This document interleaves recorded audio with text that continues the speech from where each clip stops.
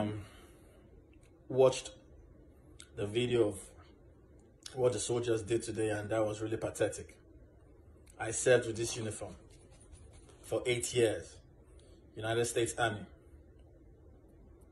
Never, even when I was in Afghanistan, never, never did I see an American soldier use his weapon against an unarmed soldier, talk less more for civilian.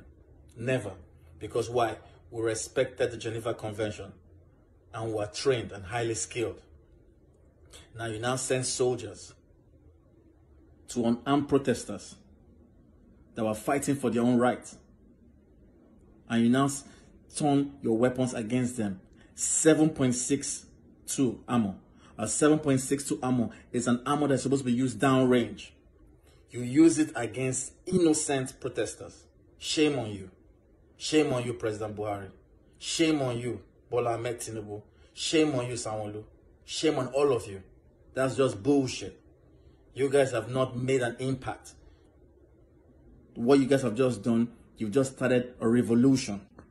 Yes, a revolution because guess what? The whole world is watching. And whoever was that soldier, whoever was that officer, shame on you too. Because if you are trained in the academy, you are, you are taught about the ROE, your rules of engagement.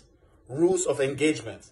You only engage when you need to defend yourself. You don't engage on someone that is unarmed and peaceful protesters. This is just bullshit. It's a shame. It's a shame. President Buhari, this is for you. I want you to listen to this video. I don't care what how you guys feel, but this is the truth. And the truth is going to set that country free. This goes out to all the family members that have lost a loved one in this peaceful protest. Please, please, don't let your guards down and don't give it up. God bless you all. I love that country and I love you all. God bless Nigeria.